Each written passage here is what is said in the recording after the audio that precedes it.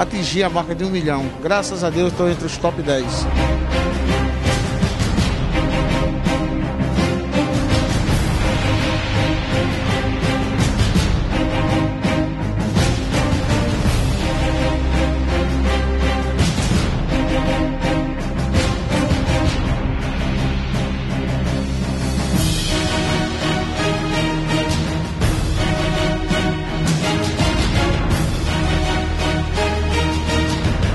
Se atingir um milhão não é fácil.